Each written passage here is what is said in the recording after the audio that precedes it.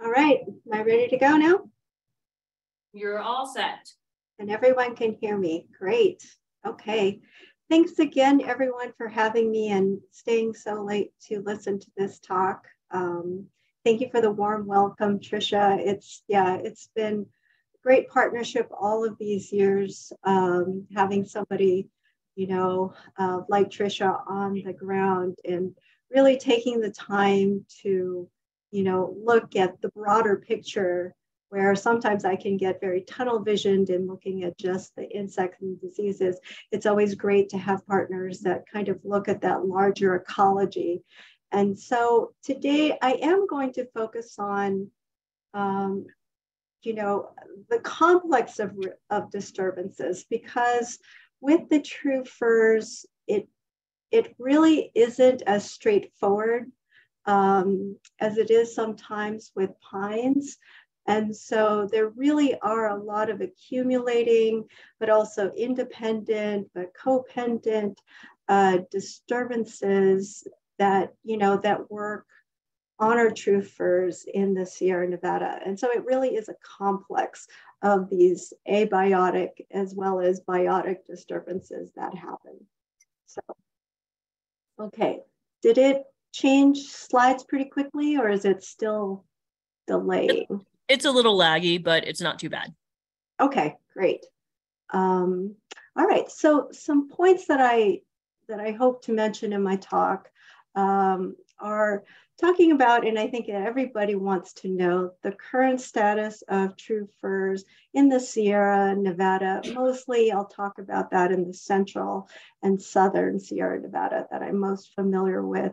Some, some information of some of the causal factors that cause damage and mortality of true firs, how these factors kind of interact um, on their host and the effects that they have, and then some final things to consider.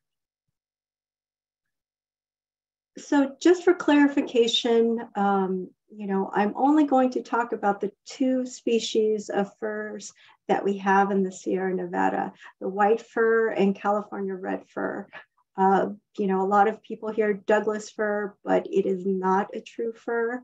And so it is not in the same, you know, genus as white and red fir. And we do have grand fir, but that's mostly along the coast. And so again, just mostly talking about these two species. True firs really have, um, they've really benefited in, you know, in the last century from past fire, you know, suppression management and strategies that we thought, you know, were good for the ecosystem back then. Um, really a great century of good precipitation, good water years, mild temperatures. So we didn't really have too many droughts in the last century. Um, and if we did, they were really short and they were pretty mild.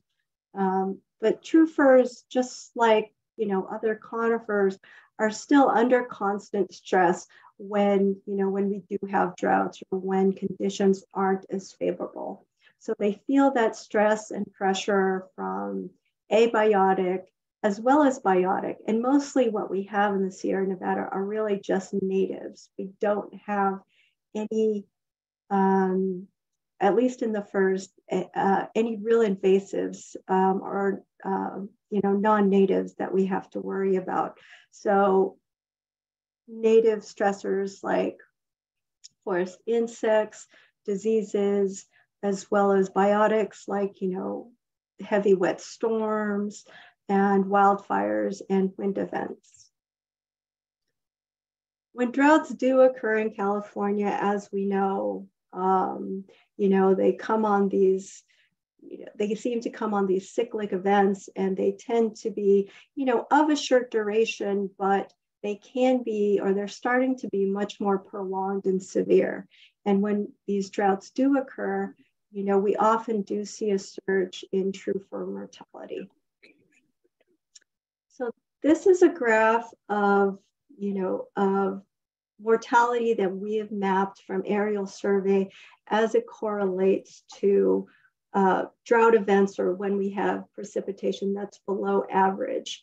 So when we have, you know, uh, these low consecutive water years, we usually see these surges in bark beetle caused mortality. And this is, you know, all bark beetles. So this is, and this is all, all tree species, species, so not just fir. This, um, this peak that happened in the early 2000s was our big outbreak that happened in Southern California around Big Bear Lake. And then we know this past drought um, that started around 2012 to 2016, we really started seeing that surge of mortality, particularly in the pines in the, you know, on the west side of the Sierras, just really just explode um, those two years of 2015 and 2016.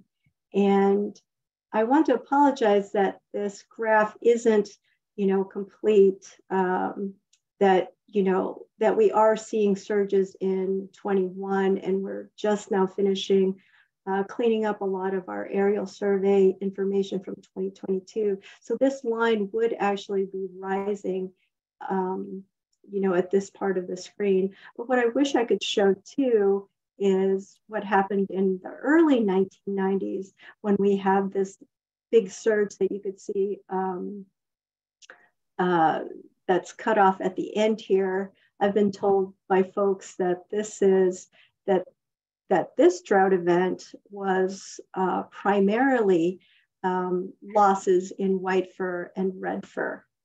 And you can see from the peak, and I don't really know how high it went up, that the losses that happened these years were even greater than what we'd experienced uh, these past couple of decades. So not surprising that we're seeing um, just, you know, continual mortality since you know, uh, that it still really hasn't seemed like it stopped since 2016 when the drought was officially considered over. Um, we've had some wet years, but again, you know, we're still finding that the state is in a status of drought and that in 2020, um, you could see here that most of the state was in severe to moderate drought and that it only intensified in 21, uh, where a good portion of the, the state of California was an exceptional drought, and that we really haven't recovered even this year, um, and that the Central Valley still remains um, in exceptional drought. So most of you have seen this on, on the landscape. This is the northern uh, part of the Stanislaus National Forest, the Calaveras Ranger District, where we're seeing, you know, these hillsides of fairly scattered mortality of red fir um, mortality. And you guys uh, closer to the northern areas, this was taken from the Sierra Sun Times just this November. Uh, the photo was taken in October though, but yes, just a lot of new mortality here on the landscape. And then even in our most highest elevations that we, you know, we thought might have been buffered from having, you know, higher snow loads or possibly colder temperatures, we're still seeing a lot still of mortality, especially in the red fir and especially in this smaller, um, smaller size class. So this is Onion Valley and the Inyo National Forest. And if you got this in your email, like I did just recently, that Oregon and Washington um, is experiencing what they're called a Firmageddon, where they are experiencing massive die-offs, probably the biggest that they've says your largest ever recorded in the region. So it's not just us, but they also have a few more species of fir that, than we do so just stepping back a little bit and talking about, you know, again, the causal factors. So we know that drought plays, you know, plays into tree stress. Um, but again, you know, there's a lot of just kind of natural biotic agents that contribute to that mortality or add to it. And insects and pathogens have been found to be, you know, that significant uh, kind of background mortality contributor. So even when times are good, you know, they're still in there working and, you know, causing some damage and causing disturbance. Um, they found out that, you know, biotic agents account for more than half of the mortality in true firs. Insects especially account for nearly half, and pathogens account for a quarter of that. So you know, insects and pathogens kind of work really in this accumulating stress spiral. So they can work independently of each other, but they can also just, you know, cause damage through, as they say, through a thousand cuts. So they can do a little bit of damage in localized area, but this again, just, you know, just accumulates over the long term. And these agents too can work in association with each other as well as working independently. So Trish, a long time ago, um, did some studies down in uh, down in fairly uh, similar forest types where you know wildfires were allowed to run um, kind of run their course naturally uh, and this forest was the Sierra San Pedro Martir um, down in Baja, California, which is very similar to our forest types in California. And they still found that, you know, native pathogens and bark beetles still accounted for a large percentage of that mortality. So even though fires ran through those, those stands, it was still insect and diseases that caused a lot of the, the tree mortality. And 88% of the white fir uh, was caused by bark beetles. And that root disease, um, and I'll get to that in a moment, uh, was also present in those stands. There was a larger component of pine. And while the pines kind of, you know, kind of created some buffer with disease spread, they didn't really slow down, um, uh, they didn't affect the intensity. So talking about bark beetles, because this is usually, you know, the primary kind of damage agent that gets talked about that causes most of mortality. And they do, you know, we have some very aggressive bark beetles here in California or in Western forests.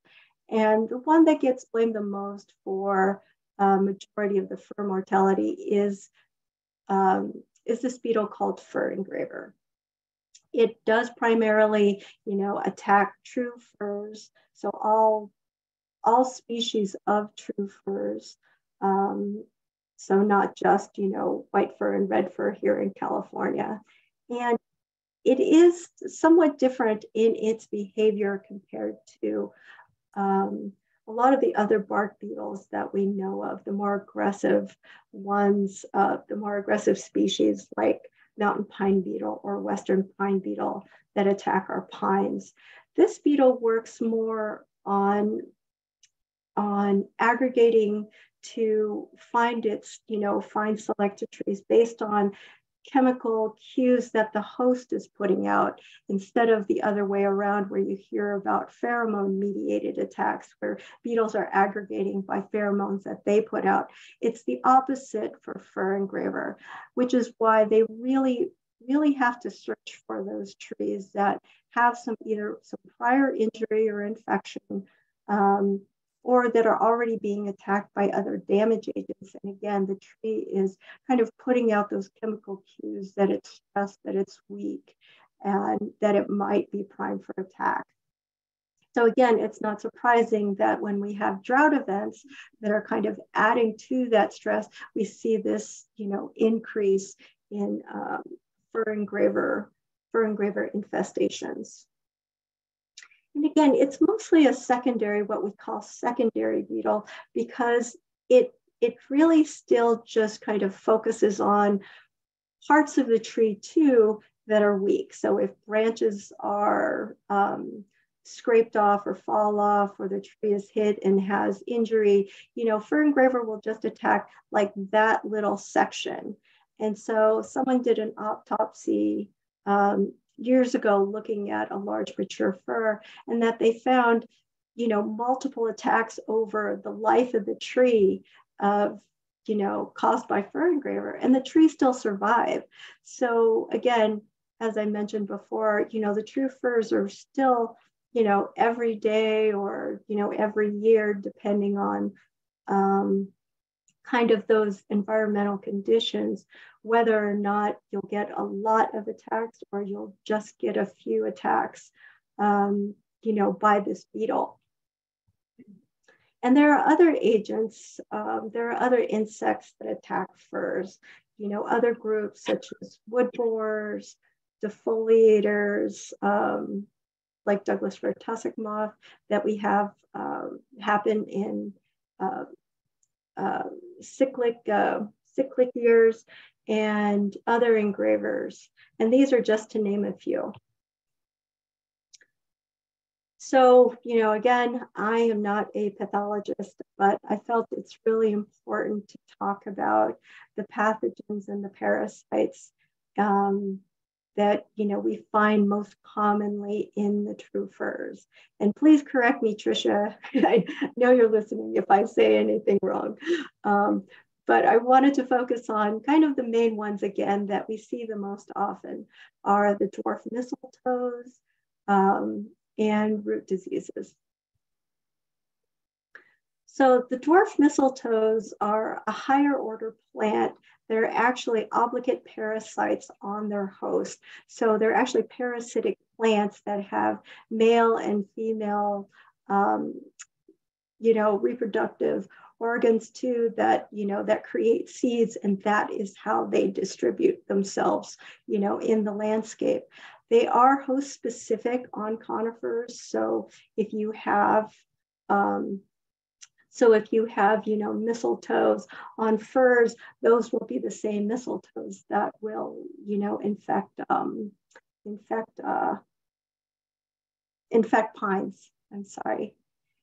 And someone looked at, you know, that mistletoes themselves can actually be, you know, doubly infected by another pathogen uh, uh, called Cytospora, that 20% of these mistletoe infections are infected by Cytospora, which is actually a fungal canker.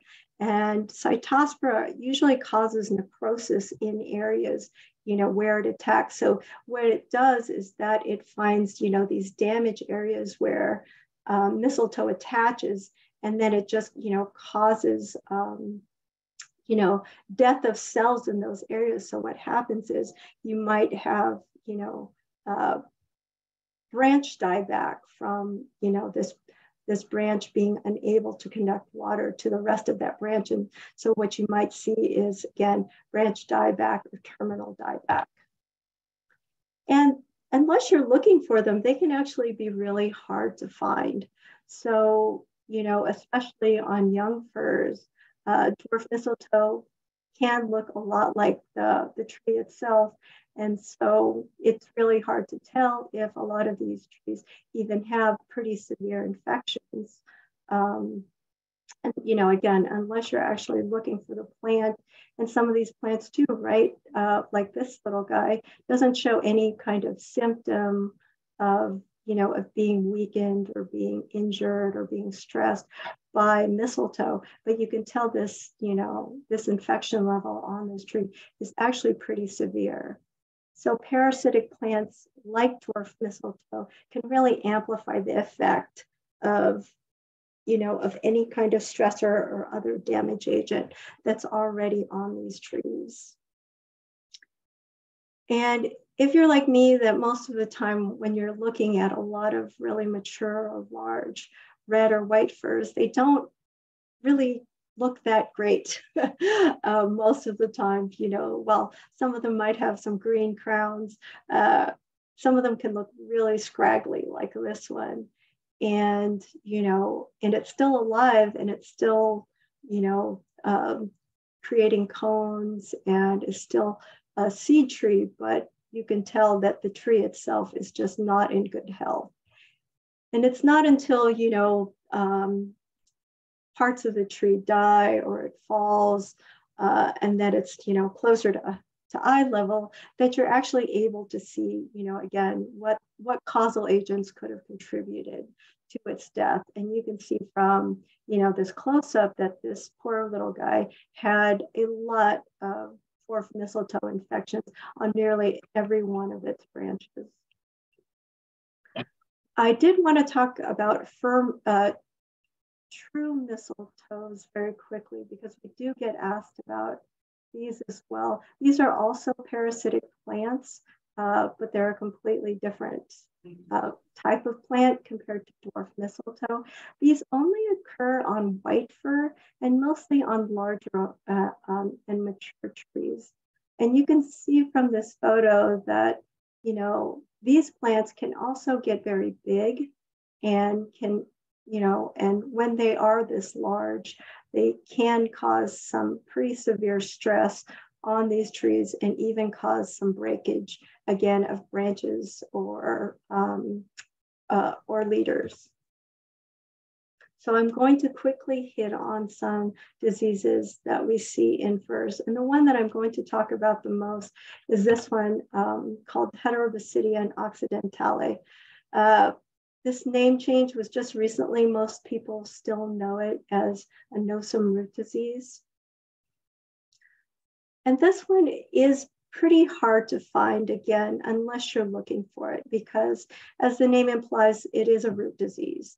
And so it can occur in trees that are still, you know, that are still alive, but this disease can be slowly, you know, what it does is that it slowly kind of rots the, the roots and the base of the plant. And so this does affect the integrity of the plant too, to also keep standing.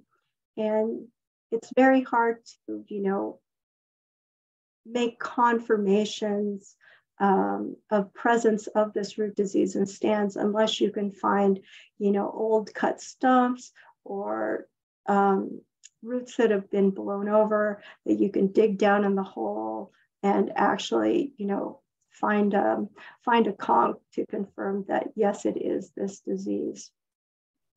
So the, again, the hard thing about this, you know, this disease is that it is occurring down in the roots.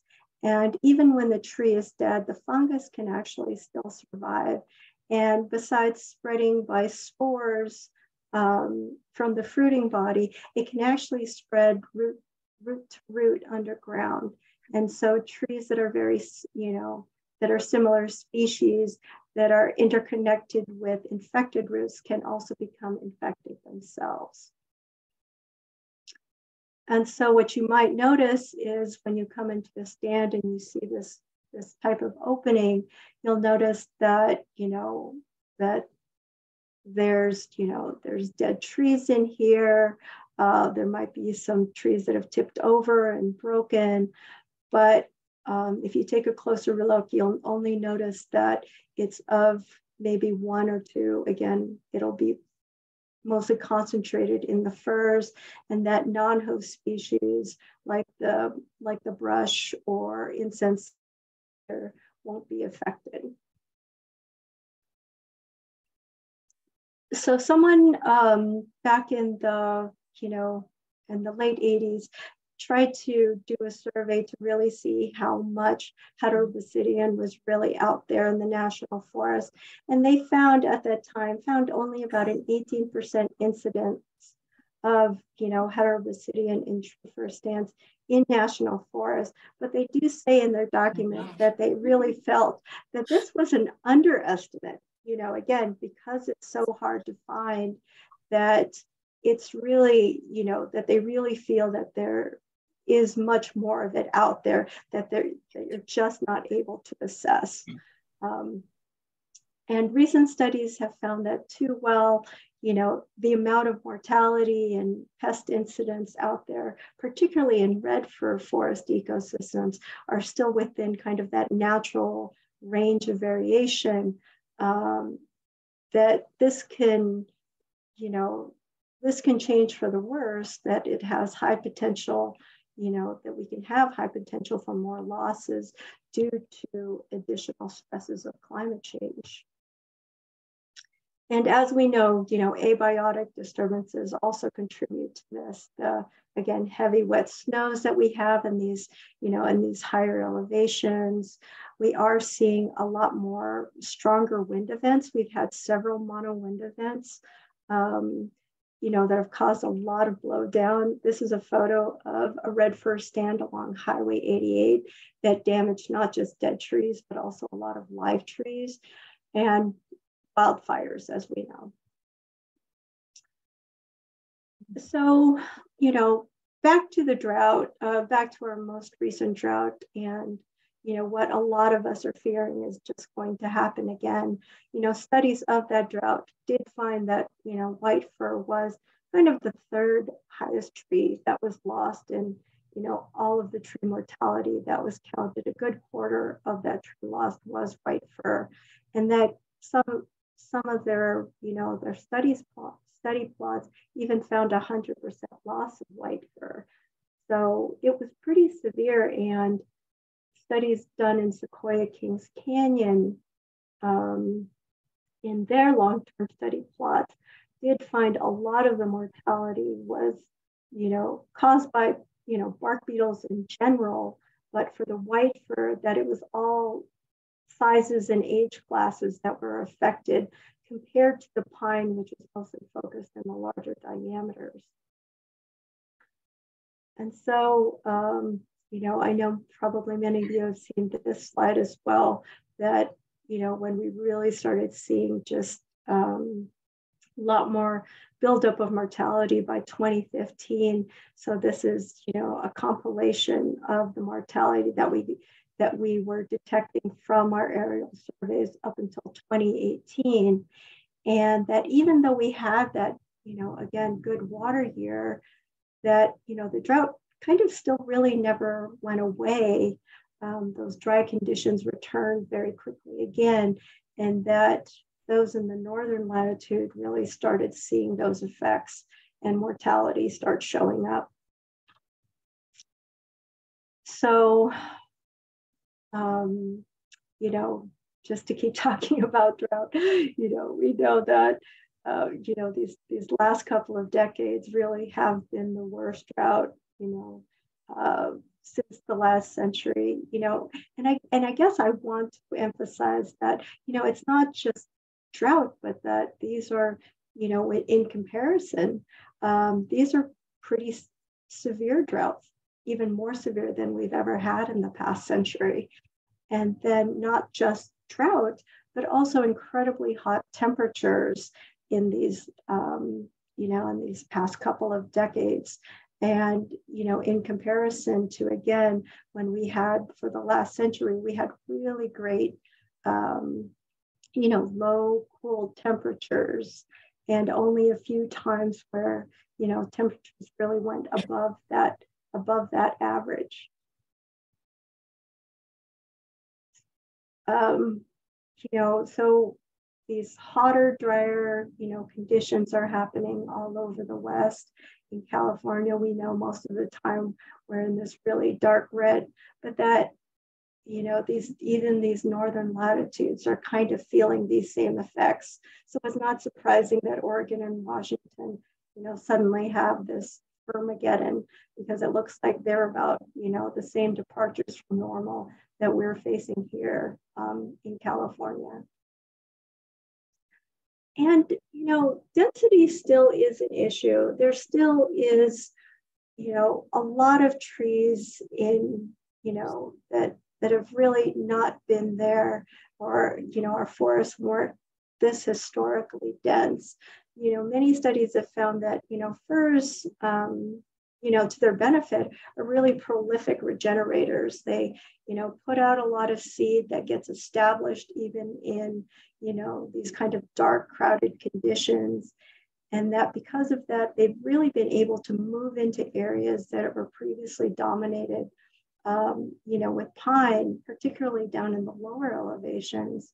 And because, you know, of past, you know, fire suppression management, you know, we really haven't been able to reduce a lot of this density um, and be able to catch up. So these trees that were established, you know, again in those, you know, cooler, um, cooler, wetter, you know, climates are just, you know, and, and now really trying to adjust to these much hotter, drier conditions, you know, are these larger kind of older trees we're really losing those larger diameters. And with climate change, um, you know, as more trees become weak and stressed, you know, this benefits bark beetles as well as other damage agents because there are more, you know, now susceptible hosts on the landscape for them to infest. And so we may not be able to sustain kind of the current density or range of where we find some of these firs in the future. So, you know, uh, mortality right now is currently at high levels in the Sierra Nevada, as you know, but also across Western forest. And our aerial detections have found that mortality was much more greatly elevated this year uh, in comparison to last year. And that it looks like, you know, in comparison to the last drought too, that this time a lot of that mortality is in true fir greater than 70% so far is what they've estimated, uh, mostly to actually be true fir uh, killed trees.